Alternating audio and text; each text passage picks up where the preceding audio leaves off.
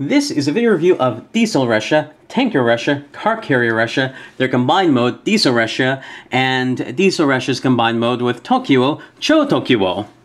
And so uh, anyway, let's get into it. As you can see, um, Diesel Ressha is very long as just his own train.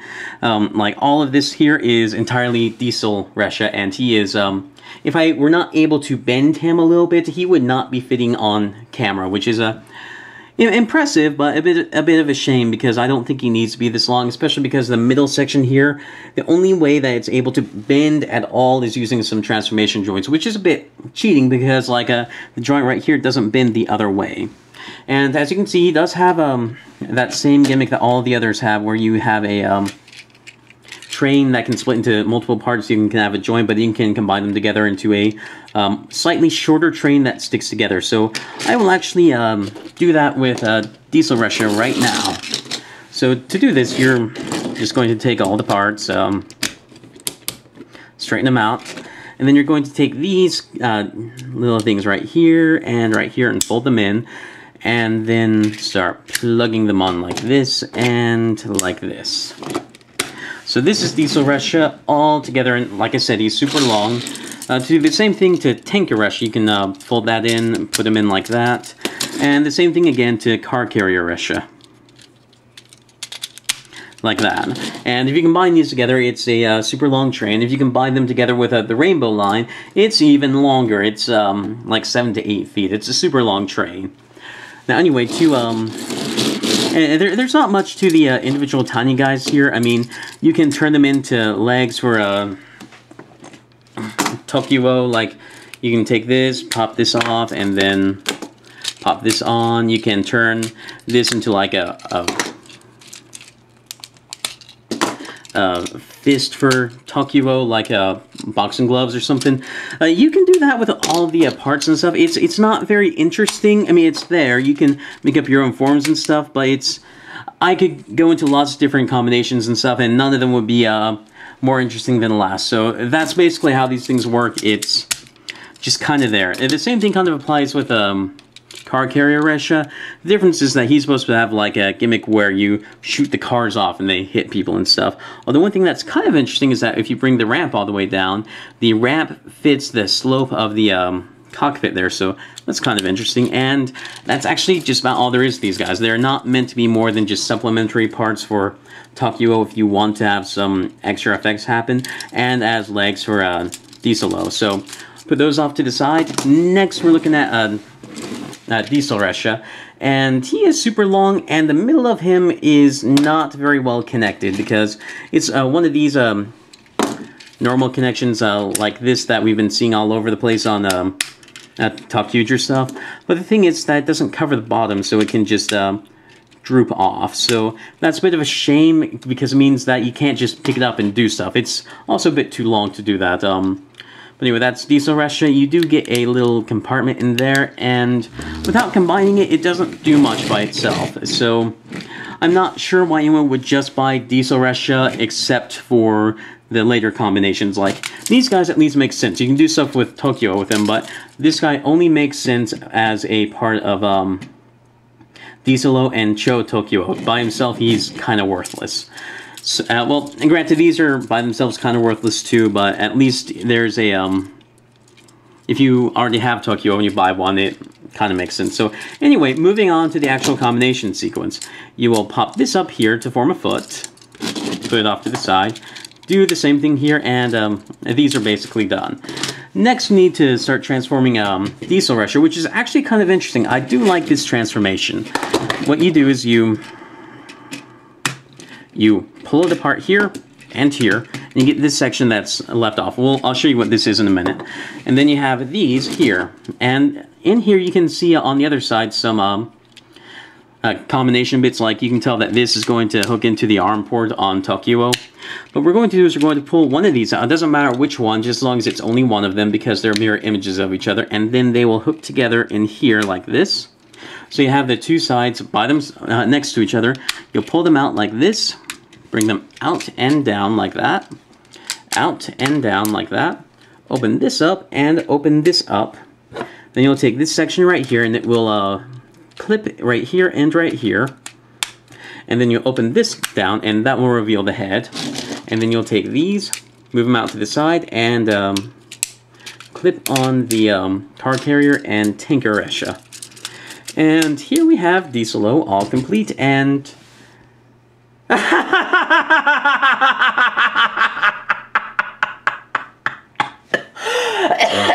You're kidding me, right? That's it?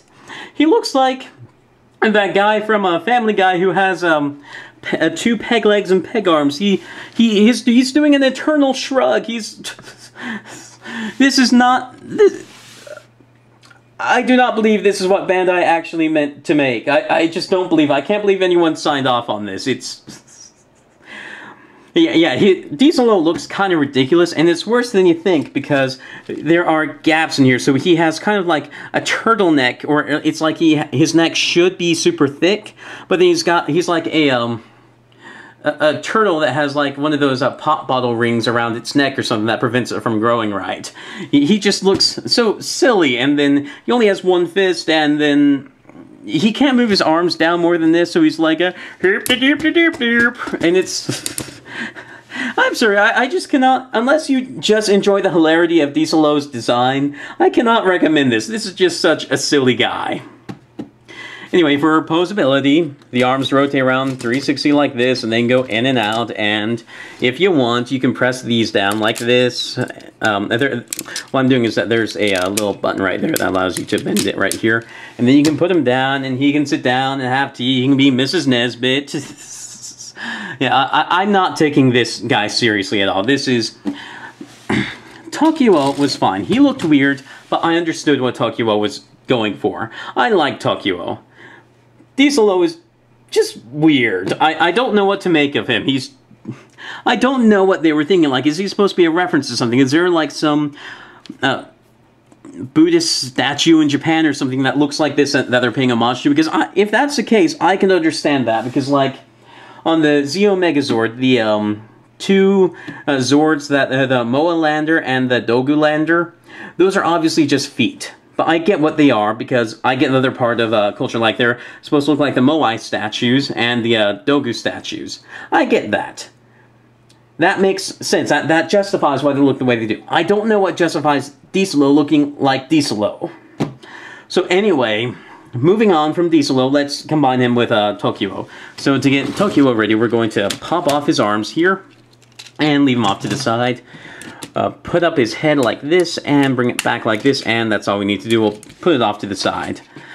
Um, next, we're going to take apart Diesel-Oh and um, um, get his parts already. So we'll take the legs off, and the legs are almost exactly what they need to be, except um, having this bend in them, because uh, you would push this button, bend them, and then fold out these uh, little tabs right here.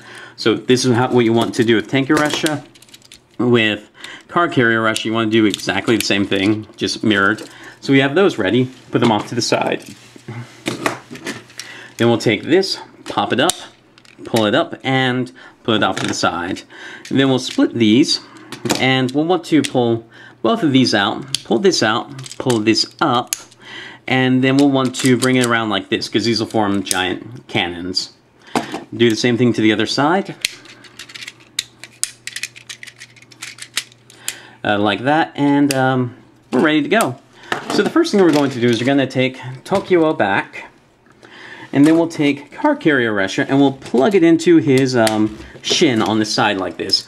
And because of all the weight that uh, Diesel-Oh is going to add to this when we get to Cho ToQ-Oh, these extra toe bits here that help the balance aren't really necessary. Next thing we're going to do is we're going to pull it up, we're going to take one of these.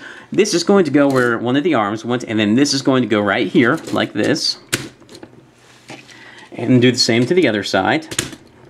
And then we're going to put the arms in, like this, and like this.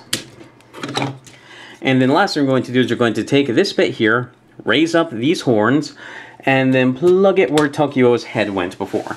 And this is Cho ToQ-Oh. And whereas Diesel-Oh was just weird and silly and I don't know what to make of him. This isn't bad. It's a bit wide and a bit flat. And with the pictures we've seen of the layer combinations, that looks like it's going to be the problem of this entire line. It's trains next to each other pretending to be robots and looking really flat. I'm interested to see where it goes, but I'm also a little bit nervous because I don't think we're going to get stuff that's as awesome as we might be able to get. But anyway, I don't mind this. Um, I wish the shoulders were a little bit higher because they look kind of low with how high up the head is now and how big it is. But it's it's not bad. I, I get what they're going for with this. Um, it's certainly more respectable than Diesel-Oh, but it's it's still weird and takes some getting used to. I will say I do like the two cannons up there because um, they really remind me of uh, the Macross from Super Dimensional Fortress Macross.